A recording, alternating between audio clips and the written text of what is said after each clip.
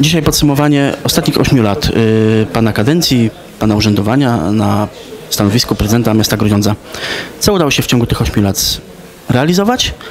No a może też coś nie udało się i chciałby Pan w kolejnej kadencji powziąć ten trud i spróbować. Dwa główne cele były mojej pracy, dwa główne, ale nie może, miasto ma cały szereg funkcji i wszystkie muszą e, działać i trzeba pracować, ale dwa główne cele to była infrastruktura drogowa, którą przez 8 lat e, zrobiliśmy i to była budowa szpitala, dosyć skomplikowana sprawa. E, to były te dwie podstawowe.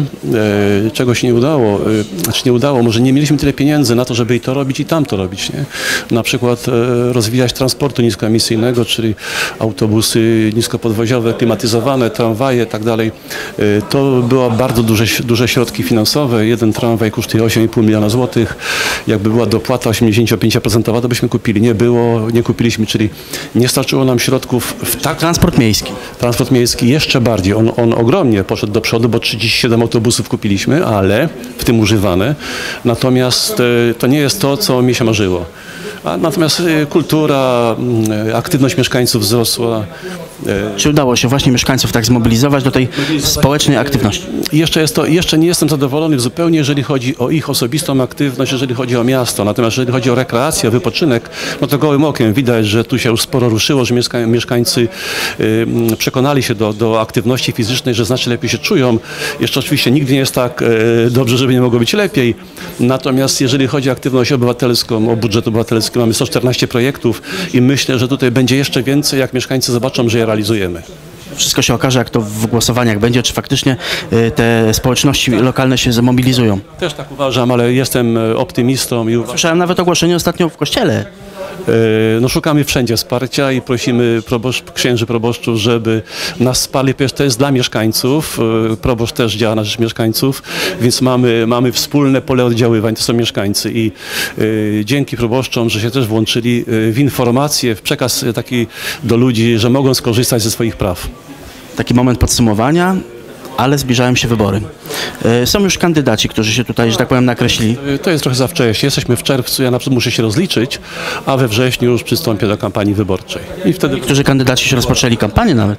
Ja wiem, ale to są, e, to są koledzy, którzy są, e, nie, nie, nie są rządzący, mają więcej czasu, są w opozycji do mnie i mogą się przygotować e, szybciej i Czy jakieś plany są? Ktoś namawia już pana, żeby spróbować znowu sięgnąć po ten fotel prezydenta, bo poprzednich wyborach miał pan no, praktycznie totalny monopol.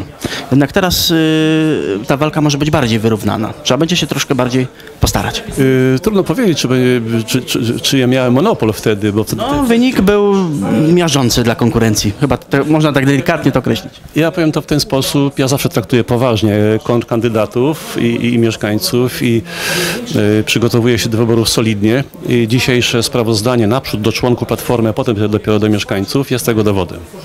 Jeszcze takie pytanie, bo Platforma w pewnym sensie podzieliła się i będzie teraz dwóch kandydatów. Mowa tutaj oczywiście o Januszu Dzięciole. Czy nie wpłynie to jakoś... Już w tej chwili nie, ale elektorat, no nie oszukujmy się, ma swoich zwolenników również y, w waszych, że tak powiem, szeregach. Czy nie wpłynie to jakoś negatywnie? Y, W jaki sposób y, chcecie przemówić do tych wyborców, którzy głosowali do tej pory, chyba że myślicie, że się odwrócą od niego?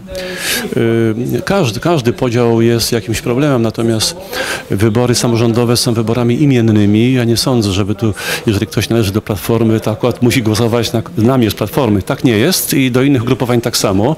Wybory samorządowe mm, mają swoje prawa i mieszkańcy głosują według tego, co widzą, co jest zrobione, a co nie. Y, Ja już tu nie mam e, żadnych chwytów wyborczych, bo to ja coś zrobiłem i albo to jest dostrzeżone, albo nie. Oczywiście mam plany, które przekażę we wrześniu, jakie to są plany, jeżeli chodzi o dalszy rozwój miasta, ale, ale to, co zrobiłem, to już jest i to jest za mną. Natomiast koledzy, kontrkandydaci, no oczywiście mogą wszystko krytykować, bo takie ich prawo i czynią to i tak było zawsze i tak pewnie będzie.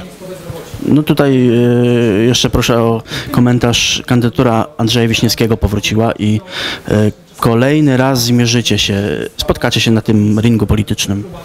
Ja to skomentuję we, wrześniu, bo ja, jak powiedziałem, jeszcze kampanii wyborczej nie prowadzę. Muszę się rozliczyć z tej, z tej kadencji, która minie, minie w listopadzie. I Jestem przygotowany do rozliczeń, a potem dopiero do, do, do wyborów.